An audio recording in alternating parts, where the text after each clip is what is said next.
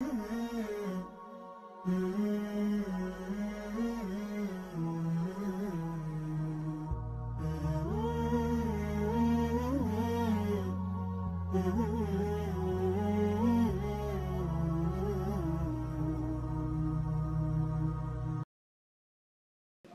صلی اللہ علیہ وسلم حدیث صحیح ولی انی لادخل فی الصلاه هو mi leži posebno na srce ja zbleguvam po nama sonije da klanjam podugo да.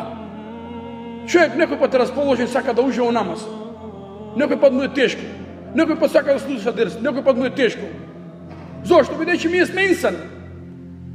и во нашите гради имаме калб а калб што значи имаме срце. На арапски кал значи е така лепо што се превртува. Гледај, некој пат имаш милост, некој пат имаш во себе суровост, тврдина, некој пат имаш благост, калб, срце. Аллах ја калдибу кај феша. Аллах го врти ка сака. Па затоа веле Мухаммед саллаху алейхи ва селем, ја му калибел кулуб, црпи калбе на дин. О ти кој ги врти срца, сврти го моје срце на ислам. Сврти го моје срце на добро. Сврти го моје срце да сака, не да мрази, да простува, не да казнува. Ја му кални ел круг. Па вели пегам селем, јас влегувам во намаз со нијет да кланјам долго. Фа асма бука саби, че слушнам плач на дете. Гледаш? Одма су да сватиш. Дека во джами имале деца и плачеле. И пегам рекол мрш. Не им рекол мрш. Туку што? Вика уате Джаубас, Кланјам побрзо за мајка му да го земи да го смири.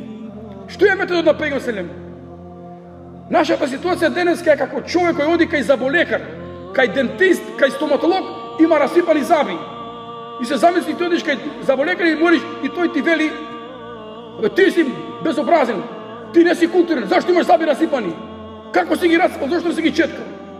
Таа прича е завршена. Туку нашата прича е сега како да му ги излечиме забите, како да му ги бомбираме и така натаму. Васина Мухамед Ва